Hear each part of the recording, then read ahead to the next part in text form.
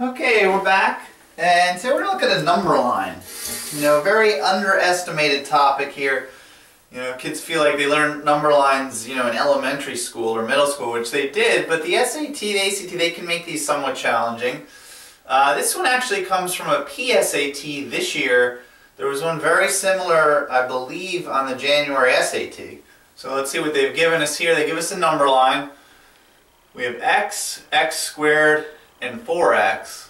And it says if x is positive and the ticks are equally spaced, what does x equal here?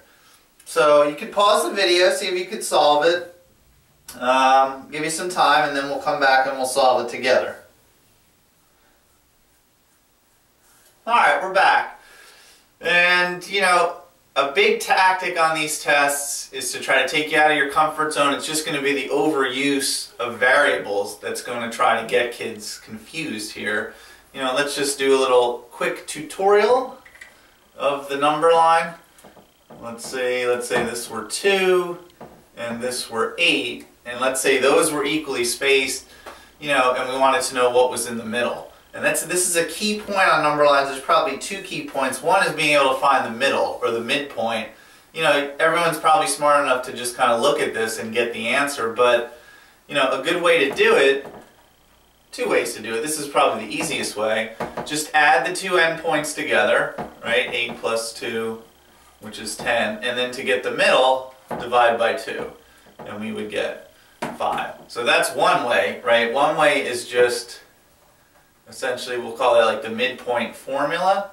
The second way is a two-stepper, and this is probably more relevant when there's more, you know, than just a couple spaces here. But the first, the second way is, we'll take this out of there, you know, figure out how long the segment is. So from 2 to 8, right, is just 6 units. I would just do 8 minus 2. So I know the length is 6 units.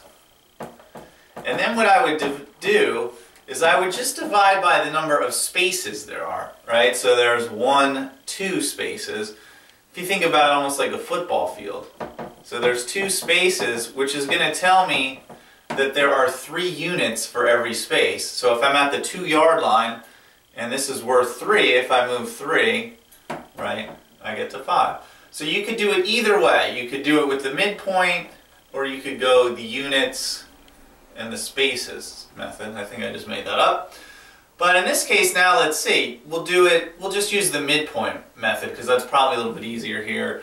So all I know is if these are equally spaced, right, that's the middle. So if I take my two endpoints, x and 4x, and I add those together, right, well x plus 4x is obviously 5x, and if I divide that by 2, that should be the midpoint. And now what they're telling me is that the midpoint is x squared, right? So what I can do is set the midpoint equal to x squared, and now it's just really an algebra contest. You could, you know, you can pretend there's a 1 here. I know kids like to cross multiply, so you could do that, right? So we would get what? 2 times x squared is 2x squared. 1 times 5x is 5x there. And, you know, typically we would say move the 5x over and try to factor it. But in this case, right, we're, we're not looking for two solutions here. We know x is positive, so really we can just sort of divide each side by x. This would go away, and that would go away.